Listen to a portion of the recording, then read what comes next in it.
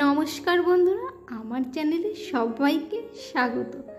বন্ধুরা, আজকে আমি চলে এসেছি আবারও নতুন আরও একটি রেসিপি নিয়ে। আশা করছি তোমরা সবাই ভিডিওটি মনোযোগ সহকারে দেখবে। আর অবশ্যই ভিডিওটি দেখার আগে অবশ্যই অবশ্যই আমার চ্যানেলটি সাবস্ক্রাইব করবে আর লাইক শেয়ার কমেন্টস করতে একদমই ভুলবে না বন্ধুরা। আশা করছি সবাই আমার সঙ্গে থাকবে। আর সবাই নিশ্চয়ই অনেক ভালো আছো, আর আজকের রেসিপিটা চলো দেখে নেওয়া যাক। আজকের রেসিপিটা হচ্ছে নিরামিষ মুগ ডালের রেসিপি বন্ধুরা, চলো এই মুহূর্তে আমরা রেসিপিটা দেখে নিই। প্রথমে গ্যাসে আমি একটি প্রেশার কুকার বসিয়ে দিয়েছি, আর গ্যাসটা অন করে দিয়েছি। প্রেশার কুকারটা হালকা গরম করে নিয়েছি। এবারে আমি এই প্রেশার কুকারের মধ্যে দেখতে পাচ্ছ এক কাপ পরিমাণ মুগ ডাল দিয়ে দিচ্ছি। পুরো ডালটাই আমি দিয়ে দিয়েছি, এবারে আমি ডালটাকে একটুখানি নাড়াচাড়া করে গরম করে নিচ্ছি।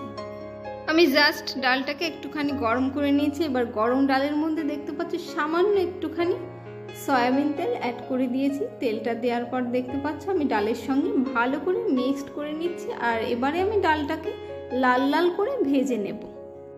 এবারে কিন্তু আমার ডালটা দেখতেই পাচ্ছ ভাজা হয়ে গেছে, লালটে লালটে হয়ে গেছে।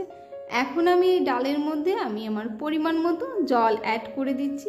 তো দেখতে পেয়েছ, আমি পরিমাণে খুব বেশি জল দিইনি, এরকম অল্প একটুখানি জল দিয়ে দিয়েছি। আর জলটা দেওয়ার পরে অবশ্যই ডালটাকে নেড়ে চেড়ে নিতে হবে, তা না হলে কিন্তু দলা পাকিয়ে যেতে পারে। তো দেখতে পাচ্ছ, আমি খুব সুন্দর করে নাড়াচাড়া করে নিচ্ছি। আর আমি এর মধ্যে দিয়ে দিচ্ছি চারটে কাঁচা লঙ্কা। আমি মাঝখান থেকে দেখতে পাচ্ছ, দু টুকরো করে নিয়েছি। তো চারটে কাঁচা লঙ্কা আমি এই ডালের মধ্যে দিয়ে দিয়েছি। তোমরা তোমাদের স্বাদ অনুযায়ী কম বেশি লঙ্কা দিতে পারো। আর এবারে আমি প্রেশার কুকারটা ঢাকনি দিয়ে ঢেকে দিচ্ছি। ঢেকে মাত্র আমি এখানে একটা সিটি দিয়ে নেব, একটার বেশি দেয়া লাগবে না। দেখতে পাচ্ছ আমার একটা সিটি উঠে গেছে, আর এবারে কিন্তু আমি গ্যাসটা অফ করে দিয়েছি। এবারে এই গ্যাস অফ থাকা অবস্থায় আমি প্রেশার কুকারটা এভাবে ঠিক পাঁচ মিনিট রেখে দিচ্ছি। পাঁচ মিনিট পর আমি আবারও ফিরে এসেছি আর প্রেশার কুকারের ঢাকনাটা খুলে নিয়েছি। তো দেখে বোঝা যাচ্ছে আমার ডালটা কিন্তু একদম পুরোপুরি সিদ্ধ হয়ে গেছে। তো আমি একটু হাতা দিয়ে নেড়ে চেড়ে নিয়ে দেখে নিয়েছি, খুব ভালোভাবে ডালটা সিদ্ধ হয়ে গেছে। এবারে আমি এই সিদ্ধ ডালের মধ্যে আমি আমার পরিমাণ মতো একটুখানি নুন অ্যাড করে দিয়ে দিয়েছি। আর দিয়েছি সামান্য একটুখানি হলুদ গুঁড়ো। নুন আর হলুদ গুঁড়োটা দেওয়ার পরে আমি আবারও দেখতে পাচ্ছি একটি হাতার সাহায্যে খুব ভালোভাবে নুন আর হলুদ গুঁড়োটা ডালের সঙ্গে মিক্সড করে নিচ্ছি। অবশ্যই খুব ভালোভাবে মিক্সড করতে হবে, যেন কোথাও দলা পাকিয়ে না থাকে, সেদিকে লক্ষ্য রাখতে হবে। তো আমি খুব ভালোভাবে মিক্সড করে নিয়েছি। এবারে মিক্সড করে নেওয়ার পর আমি এর মধ্যে অ্যাড করে দেব পরিমাণ মতো জল। আর এই জলটা কিন্তু আমি আগে থেকে একটুখানি গরম করে রেখেছিলাম। গরম জলটা দেওয়াই বেশি ভালো হবে। গরম জলটাই কিন্তু এখানে দিতে হবে, তোমরাও চেষ্টা করবে গরম জলটা দেওয়ার। তো দেখতে পাচ্ছ, আমি আমার পরিমাণ মতো জল অ্যাড করে দিয়েছি। জলটা দেওয়ার পর লক্ষ্য রাখতে হবে, বেশিটা কিন্তু পাতলা করা যাবে না, এটা যেহেতু মুগের ডাল, তো আমি খুব বেশি পাতলা করিনি। আবার খুব বেশি ঘন তাও না মিডিয়াম রাখি, রেখেছি। এখন প্রেশার কুকারের মুখটা দেখতে পাচ্ছ, ওপর দিয়ে আমি আলতো করে দিয়ে রেখেছি দিয়ে এভাবে আমি ডালটাকে ফুটিয়ে নেব। আর গ্যাসটা আমি এখন মিডিয়ামে রেখে ডালটা একটুখানি জাল করে নেব। এখন প্রেসার কুকারের ঢাকনিটা খুলে নিচ্ছি। দেখতে পাচ্ছ, ডালটা কিন্তু ফুটতে শুরু করে দিয়েছে। তো দেখো, ডালটা খুব ভালোভাবে ফুটে গেছে।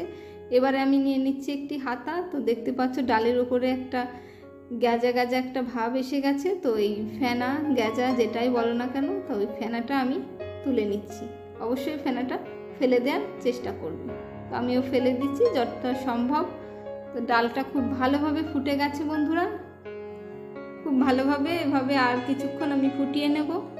গ্যাসের চুলায় আমি আবারও একটি প্যান বসিয়ে দিয়েছি আর দিয়ে দিচ্ছি সামান্য একটুখানি সয়াবিন তেল। তেলটা গরম করে নিতে হবে। তেলটা গরম করে নেওয়ার পর আমি এখানে দিয়ে দিচ্ছি গোটা জিরে। সামান্য একটুখানি গোটা জিরে। জিরেটা একটু লাল লাল করে ভেজে নিতে হবে। তারপরে দিয়ে দিচ্ছি একটা গোটা শুকনো লঙ্কা। শুকনো লঙ্কাটাও একটুখানি ভেজে নিতে হবে আর তারপরে দিয়ে দিচ্ছি একটা তেজপাতা। তো তেজপাতাটাও একটু উল্টে পাল্টে দেব, উল্টে পাল্টে আমি একটু ভালোভাবে ভেজে নেব এপাশ ওপাশ। দেখতে পাচ্ছ তেজপাতা, শুকনো লঙ্কা দুটোই এপাশ ওপাশ করে একটুখানি ভেজে নিচ্ছি। এখন আমি এর মধ্যে অ্যাড করে দিচ্ছি আগে থেকে ফুটিয়ে রাখা ডাল। দেখো আমি প্রথমে একটা হাতার সাহায্যে এক হাতা ডাল নিয়ে দেওয়ার পর এভাবে হাতা দিয়ে ঘুরিয়ে ঘুরিয়ে তেলের সঙ্গে খুব ভালোভাবে ডালটা মিক্সড করে নিতে হবে। এতে করে কি হবে? তেলটা উপরে ভাসবে না, একদম মিক্সড হয়ে যাবে। এবারে আমি ফুটিয়ে রাখা পুরো ডালটাই এই প্যানের মধ্যে দিয়ে দিচ্ছি। দেখতে পাচ্ছ, পুরোটাই আমি ঢেলে দিচ্ছি। পুরো ডালটাই প্যানের মধ্যে দেওয়ার পরে গ্যাসটা একটুখানি বাড়িয়ে দিতে হবে আর এভাবে হাই আছে, আবারও আমি ডালটাকে ফুটিয়ে নেব। আবারও ডালটা ফোটানোর আগে হালকা একটুখানি নুন অ্যাড করে দিতে হবে। তোমরা তোমাদের পরিমাণ মতো নুনটা দিয়ে দেবে। নুনটা দেওয়ার পর একটু নেড়ে চেড়ে দিচ্ছি। আর নেড়ে চেড়ে দিয়ে এবারে আমি গ্যাসের জোরটা অনেকটাই বাড়িয়ে দিয়েছি। আর একটুখানি এবার ফুটিয়ে নিচ্ছি। এবারে কিন্তু আমার ডালটা পুরোপুরি ফুটে গেছে। আর আমি হাতা দিয়ে খুব ভালোভাবে নেড়ে চেড়ে নিচ্ছি। দেখা যাচ্ছে ডালটা একদম টকবক করে ফুটতে শুরু করে দিয়েছে। এখন আমি ডালের মধ্যে অ্যাড করে দিচ্ছি সামান্য পরিমাণে চিনি। চিনিটা তোমরা যদি পছন্দ না করো, নাও দিতে পারো। তবে বন্ধুরা, চিনিটা দেওয়ার চেষ্টা করবে। চিনিটা দিলে ডালের স্বাদটা দ্বিগুণ পরিমাণে বাড়িয়ে দেয়। চিনিটা দিলে ডালটা খেতে অসাধারণ লাগে। বিশেষ করে মুগের ডাল খুব খুব ভালো লাগে একটুখানি। সামান্য বেশি পরিমাণে দেবে না, সামান্য একটুখানি চিনি দেবে।